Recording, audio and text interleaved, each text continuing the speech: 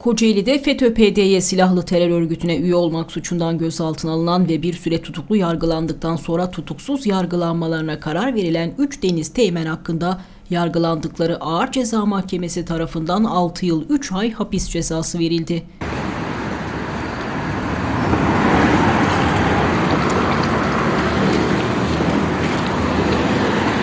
Mahkeme kararı Yargıtay'da temiz aşamasındayken haklarında yurt dışı çıkış yasağı da bulunan ÖP, ED ve BA Ayvalık açıklarında Yunanistan'a kaçmak isterken yakalandı.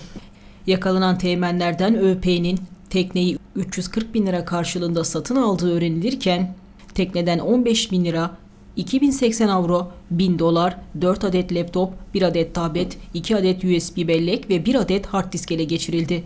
Adli mercilere teslim edilen şüpheliler tutuklanarak cezaevine gönderildi.